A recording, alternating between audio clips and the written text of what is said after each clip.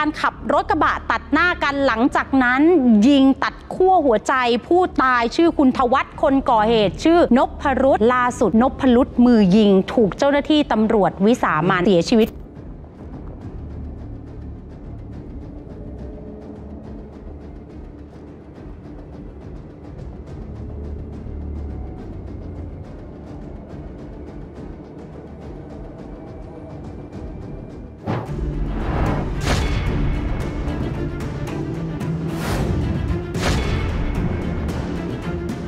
เหตุการณ์ที่นพรุษไปยิงทวัตจนเสียชีวิตเกิดขึ้น ในวันที่ 8 มีนาคมเวลา 16นาฬิกา40 นาที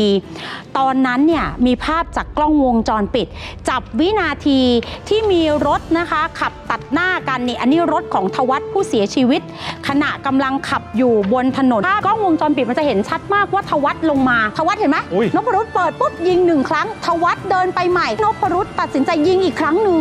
แล้วกระสุน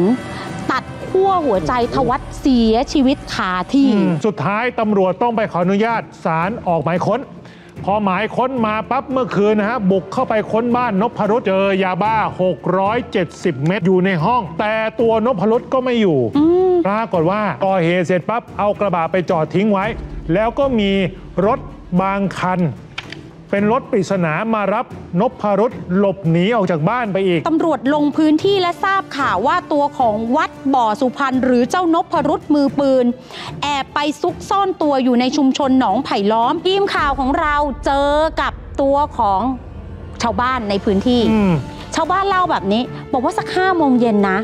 เห็นนพรุษคนก่อเหตุ เข้ามาในพื้นที่ของชาวบ้านรายเนี้ยเขาครับจำได้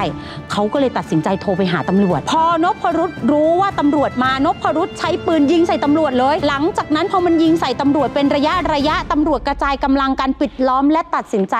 วิสามันอืมนพรุษมือปืนหรือเจ้าของฉายาวัดบ่อสุพรรณค่ะ พอตำรวจลงมา มั้งเห็นตำรวจลงมา มันก็วิ่ง มันก็วิ่งไปแล้ว ใต้ต้นมะม่วงเนี่ยข้างหน้าเนี่ยนอกจากนั้นตำรวจก็วิ่งให้มันหยุดบอกให้มันหยุดมั้งแล้วมันก็ยิงใส่ตำรวจไปนัดหนึ่งยิงจอดไม่โดนตำรวจเหมือนมันยิงเปิดทางวิ่งหนีอย่างนั้นแหละอ่าครับแล้วนอกนั้นมันก็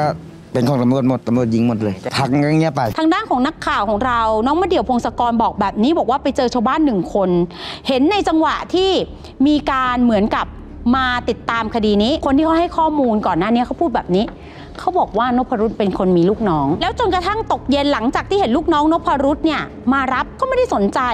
เพราะว่าเอาจริง ๆ นพรุษก็มักจะมีเหตุการณ์อะไรแบบนี้ แต่ไม่คิดว่าถึงขั้นฆ่าคน กระทั่งตอนเย็นตำรวจมาล้อมบ้านก็เลยรู้ว่านพรุษตัดสินใจ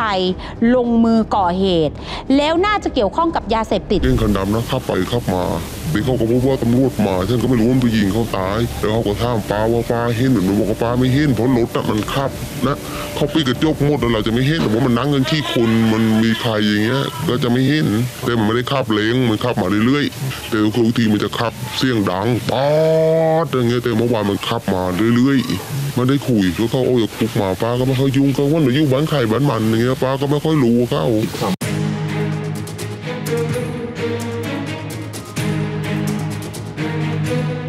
Thank you.